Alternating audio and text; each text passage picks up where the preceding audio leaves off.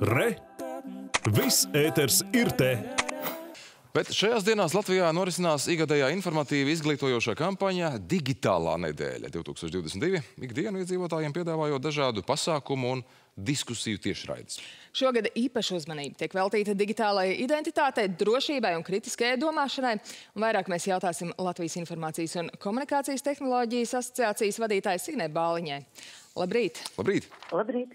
Par riskiem Labrīt. un drošību kibertelpā mēs tiešām arī vairāk runājam pēdējā laikā, kas ir gluži objektīvi jautājumi, kas informatīvā kara laikā ir guvuši vēl lielāku aktualitāti un noteikti nav par zemu novērtējumu. Kā jūs teiktu, cik gatavi vai cik labāk, nu tā lietojot vārdu apbruņoti, mēs esam digitālās drošības, digitālo risku ziņā, salīdzinot ar sevi nu, pirms gadiem pāris, piemēram?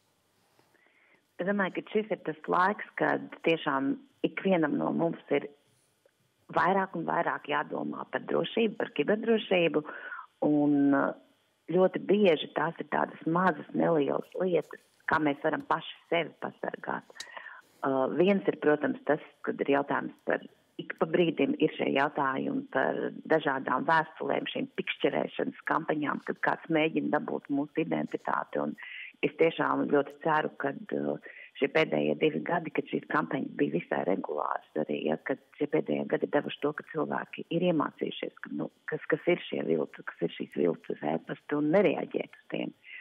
Un, protams, kad uh, tiek, tiek sagaidīts, jā, kad, protams, kad pastiprinoties Ukrainas karam, kad šie kiberuzbrukumi arī Latvijai un mūsu uzņēmumiem varētu potenciāli būt aizvien, aizvien vairāk.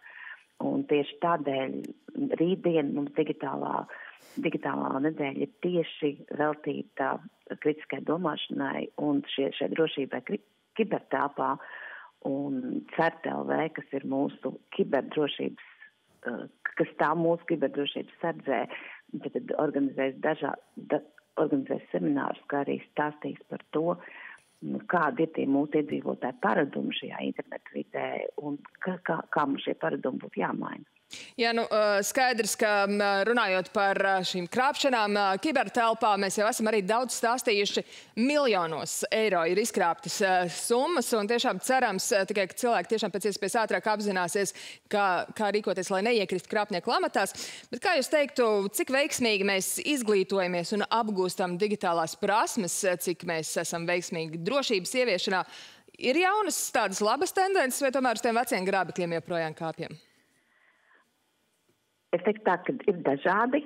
Ir, ir teiksim, cilvēki, ir organizācija, kur ir, ir kur joprojām uzkāpj uz šiem vecajiem grābekļiem, bet aizvien aizvien vairāk uzņēmumos, organizācijās nu, notiek dažādas šīs kiberdrošības mācības, notiek arī šīs iekšējās, iekšējās lietotāju paradumu, teiksim, šo paradumu testēšana, ja, kad uzņēmums iekšēji izsūta šādus ēpastus un paskatās, kā tad, kā tad, kā tad cilvēki reaģē. Ja.